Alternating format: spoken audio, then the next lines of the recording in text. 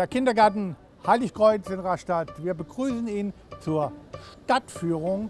Was ist denn das für ein tolles, großes Gebäude? Das Rastatter Schloss. Das Rastatter Schloss. Das Rastatter Schloss ist das erste große Schloss gewesen, das am Oberrhein gebaut worden ist. Und zwar haben die angefangen zu bauen im Jahr 1700, also vor über 300 Jahren. Und was war vorher? Vorher war ganz Rastatt zerstört worden. Wie viele Stockwerke hat das Rastatter Schloss? Zählt mal in der Mitte. Eins, zwei, drei. So, drei Stockwerke. Und jetzt drehen wir uns rum und gucken mal in die Stadt runter. Wie viele Stockwerke haben die denn? Zwei. So, und warum war das so? Warum hat das Schloss drei Stockwerke und die Häuser in der Stadt nur zwei Stockwerke? Weil kein Haus höher sein durfte als das Schloss. So, und jetzt gucken wir uns das Schloss wieder an. Was meint ihr denn? Wie viele Zimmer hat das Rastatter Schloss denn? 100. Ich halte mal den Daumen nach oben. Und, dann, und solange ich den Daumen nach oben habe, dürft ihr immer weiter raten. Mehr. 100. Noch mehr. Mehr. 200. Noch mehr. 300. Jawohl, prima. Fast 300 Zimmer hat das Rastatter Schloss. Und wer ist das denn da oben drauf? Wer ist das? Der goldene Mann. Ja, so sagen die Rastatter dazu. Der goldene Mann. Das barocke Rathaus in Rastatt ist natürlich. Wer, wer arbeitet denn dort drin? Der Bürgermeister, ja, der Oberbürgermeister, der arbeitet da drin.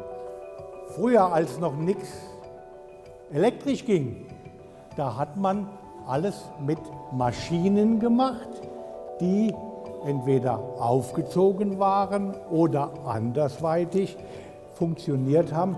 Und dieses große Gerät hier war in der, im Kirchturm von St. Alexander ganz oben drin. Und das war die Kirchturmuhr. Jetzt geht's los. Achtung. So, jetzt geht der rechte los. Guck mal. Jetzt geht oben links.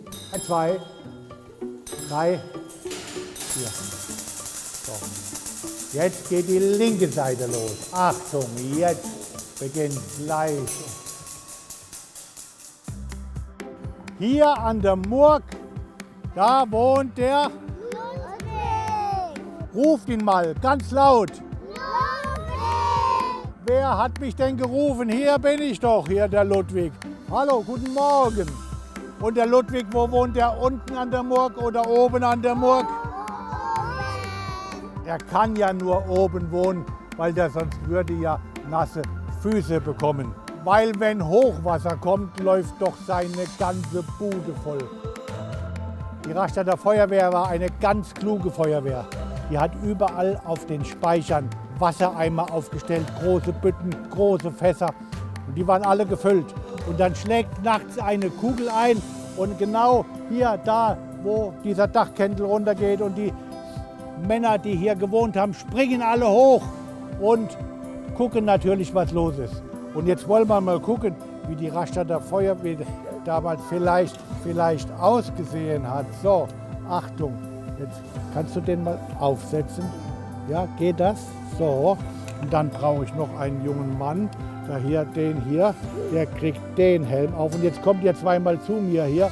So ungefähr könnt, kann ich mir die Feuerwehr, jetzt guckt mal, so ungefähr kann ich mir die Feuerwehr von damals vorstellen. So ungefähr war die Feuerwehr eingekleidet. Das sind Helme aus Frankreich, 100 Jahre alt, 70 Jahre alt. Und so hat man den Menschen geholfen, wenn es gebrannt hat.